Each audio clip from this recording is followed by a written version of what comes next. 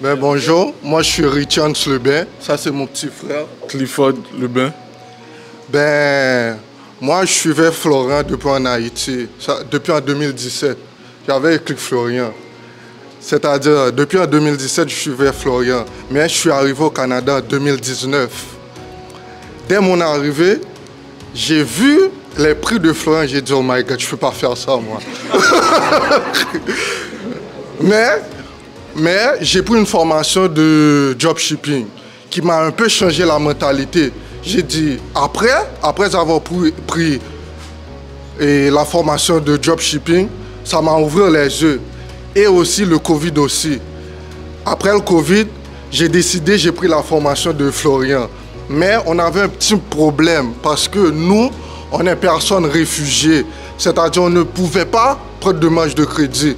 Mais moi et mon frère, on avait fait à peu près 100 000 dollars de dropshipping. On a tout pris pour investir. C'est-à-dire, on a pris les 100 000, c'est-à-dire on est resté à zéro pour tout investir dans l'immobilier.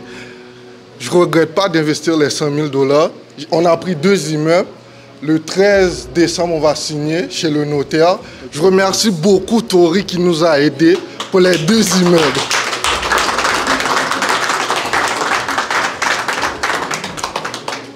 Alors, comme mon frère l'a expliqué, en 2020, on a commencé avec le dropshipping et mon frère était déjà au courant pour l'immobilier avec Flora, mais moi, je n'avais pas beaucoup d'idées avec l'immobilier, mais je suivais mon grand frère.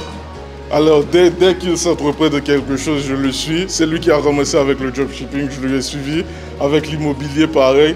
Alors, quand on a commencé, euh, avec le coaching en juin 2022, on a fait nos tournées de bug vu qu'on est résident, on est, non, on est résident temporaire et demandeur d'asile, tous les banques nous refusaient les marges de crédit, mais on nous accordait des codes de crédit. On a pu débloquer environ 100 000, 100 000 en tout, les deux, en code de crédit. En code de crédit, mais pour, pour les marges de crédit, on a juste pu débloquer 20 000 avec l'entreprise de mon frère. Et alors, comme on avait déjà de l'argent, on a dit qu'on a, commencé le coaching, on va, utiliser nos, propres argent parce qu'on était déjà préparé à ça. Et on a tout utilisé pour investir dans l'immobilier. C'est ça.